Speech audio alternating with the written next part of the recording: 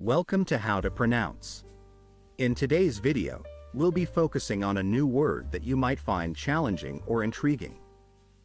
So without further ado, let's dive into today's word, 小笼包， which means soup dumplings in Chinese.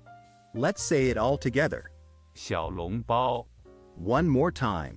小笼包， Now let's split the word into syllables, and then pronounce each syllable one by one.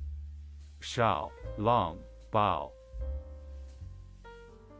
Thank you for joining us on this adventure in pronunciation. Remember, language is a journey, not a destination. Keep exploring, experimenting, and expanding your linguistic horizons. We'll see you next time.